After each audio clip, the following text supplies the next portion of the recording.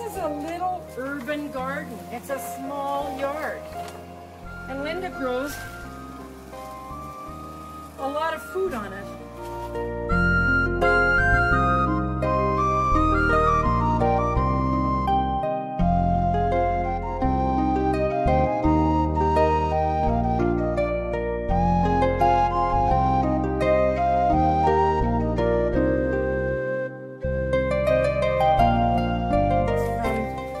All the red worms? They're the, they're the compost machine. Those and the and the um, you know the microorganisms that come into with all the material we put in.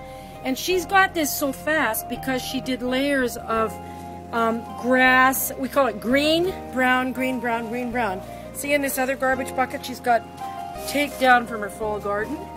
So she'll put six inches of that when we rebuild this compost. She'll put six inches of the green. First we'll put down the worms, right? We'll return some of the worms to the bottom.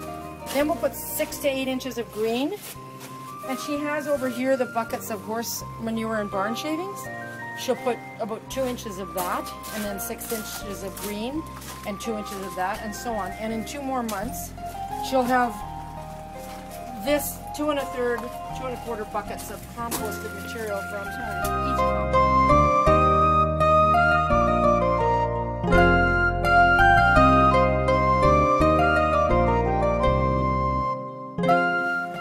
If two old ladies can do this so easily, anybody can do it.